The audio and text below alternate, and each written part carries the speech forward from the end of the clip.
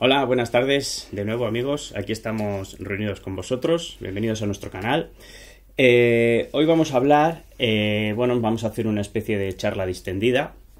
Eh, comentaros un poco que estos vídeos, muchos de los que estamos haciendo últimamente, surgen pues por sugerencias de, de, nuestros clientes o de nuestros suscriptores y también por circunstancias que nos suceden en nuestro día a día.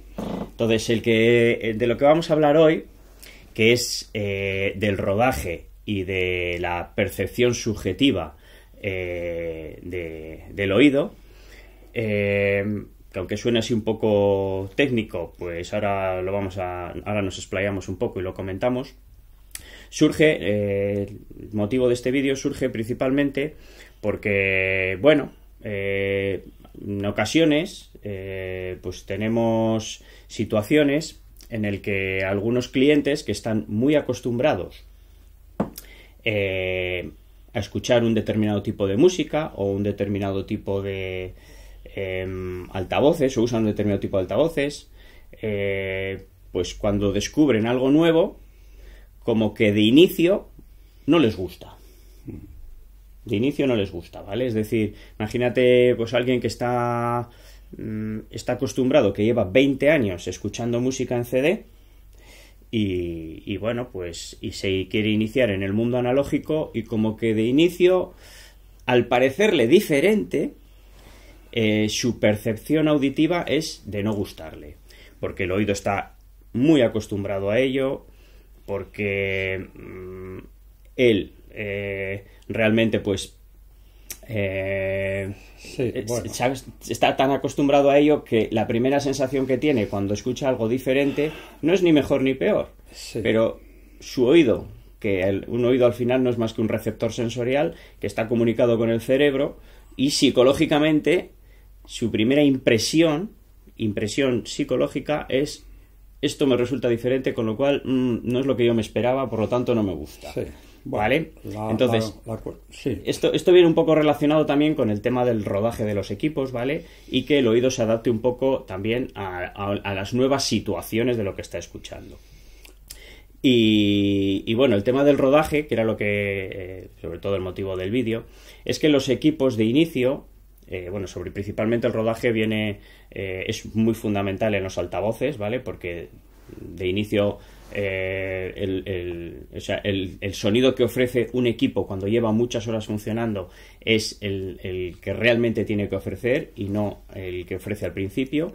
Pasan los altavoces, también pasan los amplificadores y etcétera. Pero bueno, los altavoces es en lo que más se nota realmente.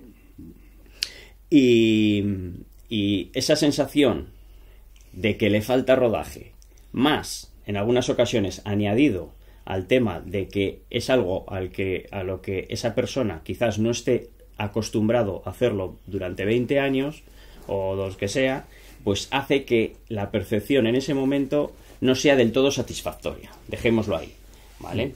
Eh, bueno, pero pasa en todos los aspectos de la vida desde el punto de vista. Bueno, el vídeo en eh, realidad lo vamos a dividir en dos partes, que sería... Eh, tema del rodaje. uno, el rodaje, que es un fenómeno al cual vamos a, a, relatar, y otro la percepción eh, psicoacústica. Hmm. Eh, sí. Entonces, lo que es el rodaje. Vamos a, distinguirlo claramente. Eh, punto número uno, rodaje.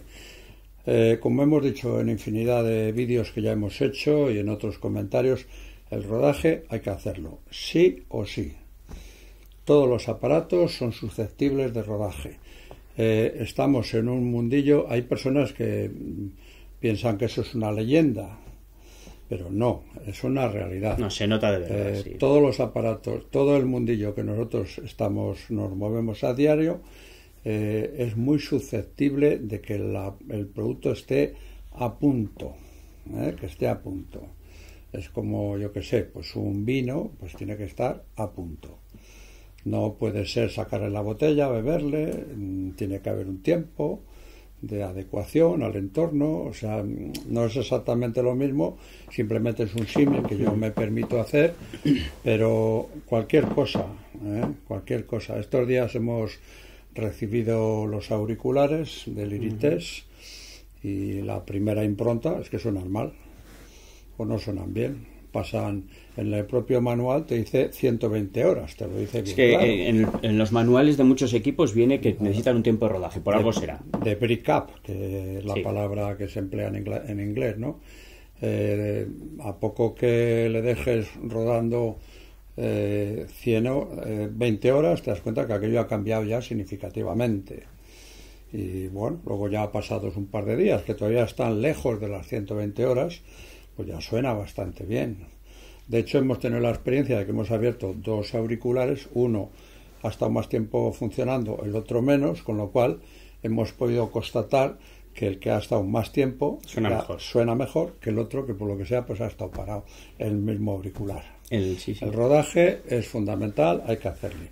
Luego el tema del rodaje, eh, bueno, pues mm, cabe mencionar también que hay productos que igual, pues este, 120 horas, vale, bien, 100 horas.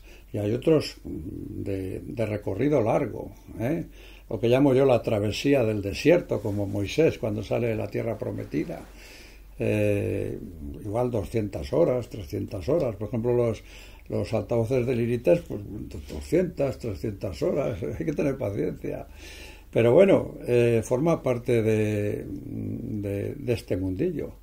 Una cocina, una comida bien hecha, pues necesita tiempo.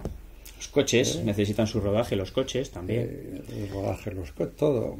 O sea, hay mucha, cuando es una cosa fina, se necesita tiempo. ¿eh? Hacer una buena comida necesita tiempo. Llegar a, a hacer un buen vino se necesita tiempo. De ahí el- la diferencia un poco. Eso por una parte, eso es evidente. Eso realmente, eh, esta primera parte del vídeo, pues mm, digamos que, que no hemos descubierto nada nuevo ni vamos a presentar nada nuevo porque lo hemos dicho eh, reiteradas veces en otros vídeos. Sí. La parte que realmente vamos a abordar, eh, que ya un poco ha anticipado Daniel todo, es la segunda. Eh, el tema psicoacústico, que entronca, obviamente, con, con lo que es un ser humano, cómo está hecho, cómo está concebido y, y cómo fuimos creados, para los que piensan que, que venimos de algún sitio especial. Eh, forma parte de nuestro, de nuestro ADN. Sí, eh, el hecho de que estemos acostumbrados a algo y, y la primera sensación cuando tenemos algo nuevo, pues no es del todo satisfactoria. El hombre está el tema el tema de los cambios. A mí que me gusta mucho la filosofía. El tema de los cambios y el hombre se llevan mal. Sí, sí, sí. Se llevan mal.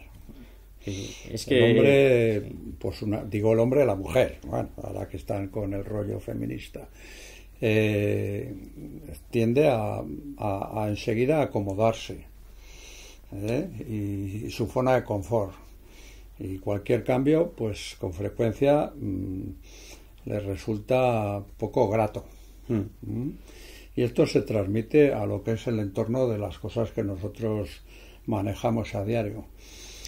En la alta fidelidad también sucede lo que comentaba anteriormente de alguien que esté acostumbrado a un determinado tipo de sonido. Evidente, Por ejemplo, en el tema de los altavoces. evidente, Alguien que ha escuchado siempre un altavoz de dos, tres vías, evidente. un sonido, bueno, característico, eh, altavoces de dos, tres vías siempre, dos, tres vías. Sí, de repente igual se le mete un altavoz de una vía, un full range. Correcto. Primera impresión, totalmente diferente. Sí, esto suena diferente. Que es cierto, suena diferente. Primera impresión, esto suena diferente. Pero psicoacústicamente dice, esto no es a lo que yo estoy acostumbrado. mm, de inicio me tengo que hacer a ello porque no me gusta.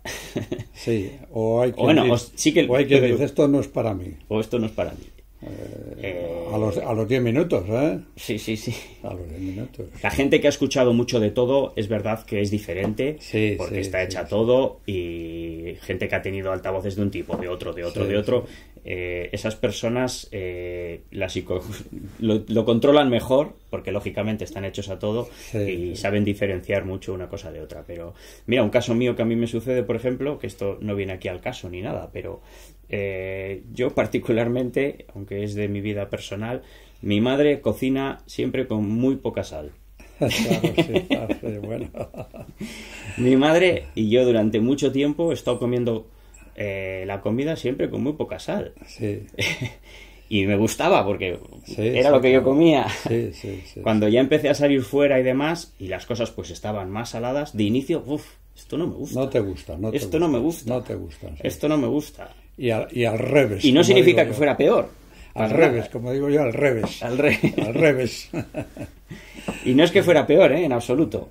Pero de inicio tal. Luego, lógicamente, cuando me he ido acostumbrando, pues en el punto de sal es lo De mejor. hecho, ¿no? uno de los fallos que se cometen, porque no se puede llamar de otra manera, que yo solo he visto muchas veces, eh, te viene una persona que tiene unas cajas acústicas que suenan bastante chatarreras, vamos a decirlo así, y le pones tres cajas para que compare.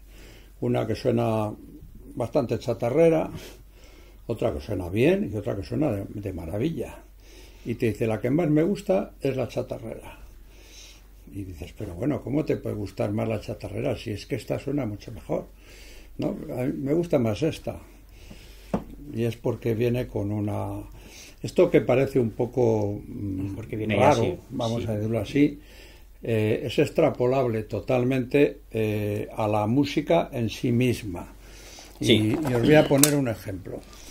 Eh, a mí que me gusta la música clásica y que tengo la ventaja de que puedo escuchar la misma obra con varios intérpretes, cosa que al que le gusta la música pop no lo puede hacer porque los Sí, discos de los Beatles son los que los discos Los que de los son. Beatles, pero los nocturnos de Chopin se pueden se pueden interpretar con varios intérpretes. Bueno, eh, me centro.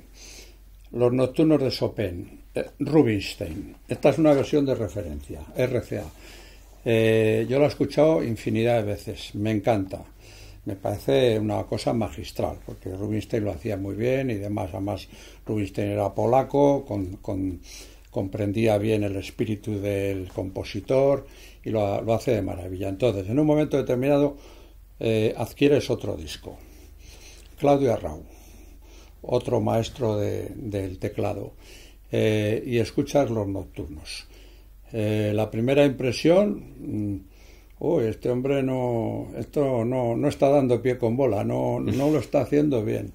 Eh, no, no comprende, no como no es polaco, eh, no comprende la psicología de, de, de Chopin. eh, no, esto no es para, para Claudio Arrau. Eh, yo creo que no debiera haberse embarcado en este proyecto. Pero bueno, le das el beneficio de decir, hombre, vamos a ver, Claudio Arrau era un monstruo. Eh, si ha abordado este, estos temas mm, es porque, porque lo tiene muy, muy triturado, muy, muy estudiado. Esta gente, la música es muy sacrificada y hay que meterle muchas horas para llegar a unas conclusiones. Y bueno, pues dices, bueno, pues mira, vamos a ver, lo voy a escuchar otra vez. Y lo acabas de escuchar otra vez, y otra vez, y cuatro veces, y cinco, y seis veces. Y al cabo de dos meses, eh, que ya lo has escuchado unas cuantas veces, bueno, pues la verdad que lo está haciendo bastante bien. Ya la percepción ya ha cambiado. Sí, sí. ¿eh? Y luego un buen día dices, bueno, voy a escuchar otra vez a Rubinstein. Y dices, la Pues es que lo hace mejor de Arrau.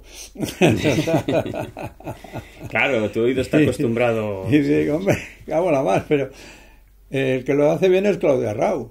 O, o otro por ahí, ¿no? Y, y claro, es, es, es que, eh, por lo que Sí. comentábamos antes, el, el ser humano por naturaleza, todo lo que sea cambio es como, eh, vamos, Sí, sí. como una bofetada. Sí, mira, hab- hablando de analogías, que es que nos gusta siempre hacer muchas analogías, pero Sí. eh, yo también, por ejemplo, eh, la primera vez que cogí un coche, eh, un coche automático, Claro. eh, yo, bueno, Esto no va.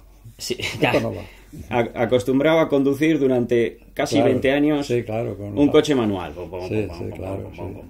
La primera vez que cogí un coche automático, digo, ay madre. Sí, sí, sí, esto no va. Iba a decir, ¿qué mierda es esto? Que no. pero Sí, esto no va, Que sí. pff, no me gusta, no me gusta, no me gusta. Luego, cuando has cogido un coche automático Sí. eh, y has hecho un, 50.000 kilómetros. un montón de veces, dices, qué maravilla. Sí, qué cómodo, qué bien va esto. Sí, Eh, al final, claro. cuando estás acostumbrado a algo, eh, o muy, muy, muy acostumbrado a algo, pues bueno, pues, pues un cambio nuevo como que de inicio te cuesta. No es que no te. La palabra igual no es que no te guste, pero. mm, Sí, sí. De hecho, es curioso no- porque el tema de los coches automáticos en Estados Unidos son casi todos automáticos y la gente no compra de velocidad. Claro, ¿eh? Y aquí todo el mundo mm, ha tenido siempre coches de velocidad y no compra automáticos. Sí. Eh, bueno, sí. En definitiva, lo que denota es pues toda una trayectoria histórica eh, de un continente y de otro continente. Sí, Por sí, eso es verdad, muchas verdad, veces, claro, mm, eh, añadido al tema del rodaje que comentábamos al inicio, el punto número uno, pues si añadimos el punto número dos, la cosa se nos complica. Eh, no digo a nosotros, digo que se complica, la cosa se complica. Porque a veces, pues vendedores nos comentan que "Ah, es que le he enseñado esto al cliente, pero no, no le gusta mucho, dice que no, que no, que lo que tiene él es mejor. Y bueno, sabe, tú sabes que no, porque lo sabes, ¿no? Eh, pero bueno, el cliente transmite esa, esa inquietud. ¿eh? Entonces, claro, si unimos estos dos puntos, que son el rodaje y la, costumbre, sí. de, de que el cerebro tiene que remodelar todo aquello un poquito para tener una percepción diferente de, de lo que estaba ocurriendo hasta el momento, eh, pues bueno, se produce una pequeña bomba nuclear, ¿no? Eh, de hecho, mm, a todos nos pasa. A todos, sí. Nos ha pasado yo con los auriculares. Sí, sí, que nos pasa, que nos llega pasa un que de inicio. nuevo, sí. llega un producto nuevo, ay, a ver cómo viene, tal, ah, pues viene muy bien preparado, tal, está todo bien colocado y tal, ta, ta, ta. Bueno, a ver cómo suena, pum, le pones. y de repente, oh, esto no suena bien, mm, vaya desastre. Nos pasó con el previo Summit también, claro, lo mismo. Eh, lo hemos comentado hace poco en otro vídeo. Bueno, y con alguna cosa más por ahí nos ha pasado. Sí, no, pasa con, con casi todo. Pero vamos, Cuando- sobre todo cuando caso- es algo diferente a lo que llevas escuchando durante una temporada larga. En- bueno, en el caso nuestro, o en el caso mío en particular, como yo ya he escuchado muchas cosas y, Sí. y estoy muy involucrado con ello y demás, pues mm, digamos que yo mm, solamente peco en el punto número uno, que es el del rodaje El real. rodaje. Y como sé que tiene que ser así, pues lo que hago casi siempre, cuando llega un previo como el Summit, por ejemplo, pues le coloco, o lo que estamos haciendo ahora con, lo- con los auriculares, le coloco, miro a ver que no tenga ruidos, que funcione bien, cómo enciende, cómo apaga, cuestiones técnicas. Hmm. Y le dejo toda la semana. Horas y horas. Le dejo toda la semana y al cabo de una semana pues le doy un le echo un oído a ver cómo va. Porque también pues tampoco me quiero sacrificar ni perder una semana de, de música torturándome atravesando, como decía antes, la, la travesía del desierto como, como Sí. Moisés cuando sale de la tierra prometida, 40 años para llegar a, a la tierra prometida, pues tampoco me seduce porque bueno, al final eh, lo- los rodajes es una locura. Y aquí entra un poco en juego el tema de la paciencia. No, no, claro. La pa- paciencia es muy importante. De eh, hecho, ya hay una frase que la repito mucho, la paciencia es una virtud. Hmm. Es una, una frase que repito mucho. Entonces eh, hay que tener un poco de paciencia y, y A veces final- cuando compramos, a título de, de- de anécdota, ¿no? Compramos algo con algún proveedor chino y claro, desde Hmm. que sale de China hasta que llega aquí, entre el barco, las aduanas, 40 días. Se y a veces pues nos preguntan desde China, oye, ya te ha llegado y tal. Y yo muchas veces pues les respondo, la paciencia es una virtud, sabiendo que para los orientales la paciencia es una virtud, es una frase doblemente importante, ¿no? un proverbio. sí. Eh, sabiendo que les, les toca un poco una fibra sensible, pero que sí, que es así. Y se produce, pues, lo que comentábamos hace poco también en otro vídeo, de pues las personas que dicen, no, es que las, las PROAC de antes sonaban mejor. Y es porque están rodadas, nada más, están rodadas. Sí, O bueno, sea, eh, mm, los drivers han tenido sus avances. Es también. un poco es un poco absurdo mm, o eh, pensar que lo que comentaba yo antes un poco de Claudio Arrau es un poco absurdo pensar que el mismo fabricante con la misma gente eh, lo que están haciendo ahora hace cinco años más tarde vaya a tener peores resultados que los que fabricaron hace cinco años. Cosa distinta es que la empresa hubiera sido vendida o ahora ya lo lleva otra gente, o etcétera. Pero la misma empresa, las mismas personas, el caso de Proac, las mismas gente, las mismas personas, eh, los mismos pensamientos, todo igual. Mm, concluir que, que las cajas de hace cinco años no es mejor que las de ahora, mm, pues yo creo que, hay que dar ese beneficio de la duda, que es lo que he comentado ya antes de Claudio Arrao. Mm. Claudio Arrao es un, un, músico de muchísimo prestigio, es uno de mis favoritos, es una persona muy concienzuda, sabe lo que hace. Hombre, mm, que tú escuches los nocturnos de Chopin y pienses que se está equivocando, no, no. Pues no sé, es un poco. Es la, eh, lo que está acostumbrado el oído eh, durante un tiempo. Y, y, luego, pues nosotros hemos tenido muchos feedback de clientes, muchos, muchos, eh, al cabo de un tiempo, al cabo de un mes, dos meses, tres meses, donde realmente nos dicen, ahora esto suena bien. eso, nos Muchísimas veces, nos pasa de, pues bueno, pues que al principio les Bien, bien, pero, pero dicen, bueno, pero... Sobre todo con las cajas del Iriter nos ha pasado. Que luego al cabo de, oh, es que esto suena muy bien. El otro día mandó un comentario uno del sur Mm. Eh, oh, ¿cómo suena? ¿Cómo suena? Ya las tiene hace dos años o un año. Claro, ya las tiene muy rodadas. y, ahí entra en juego pues Una persona los dos factores que hemos comentado. Grandes conocimientos también de música clásica y que sabe mm. lo que habla, claro. Sí, sí, sí. no es, bueno, no, hay que, no, hay, no desprecio ningún tipo de música, pero bueno. No, bueno, que sí que... Pero, los, los feedbacks de los clientes al final... Sí, sí, eso es importante. Por eso muchas veces... Es muy importante. Pues bueno, el camino más corto entre dos puntos es la línea recta. Eh, es algo que yo aplico con, con mucha, con mucha, muchas veces eh, confiar en un profesional. Sí, Porque no me apetece hacer los 40 años de Moisés o no me apetece hacer. Entonces buscas un profesional, oye, quiero esto, dime lo que tengo que hacer. Y ya está, porque él sabe mucho más que tú. Eh, y confiar en lo que ponen los manuales también. Ahora mismo, o, simplemente ceñirse a lo que ponen en el manual. en el manual muchas veces dice, esto requiere un tiempo de rodaje de 150 horas. Sí, te compras pues una cápsula y te pone 60 horas brick o ciento y pico horas brick Claro, es lógico porque el diamante está recién tallado. Eh, claro, todavía tiene que buscar un poco esa forma roma de para entrar bien y claro, pues lleva su cosa. Bueno amigos, eh, esperamos que el vídeo de hoy os haya gustado. Eh, estamos respondiendo a una inquietud que nos han transmitido, como decía Daniel hace un momento, hace poco. Eh, y bueno, hemos estimado oportuno darle forma un poco a, toda esta, a toda esta cosa que creo que es importante y que debéis de tener en cuenta sí o sí.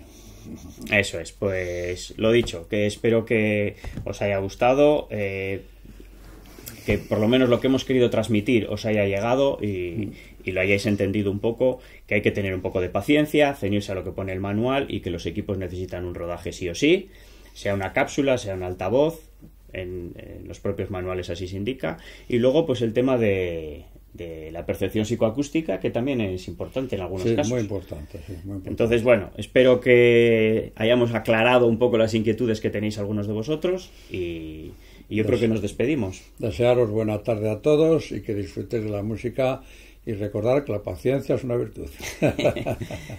gracias por seguirnos. Muchas gracias a todos, un abrazo muy grande y que paséis buen verano.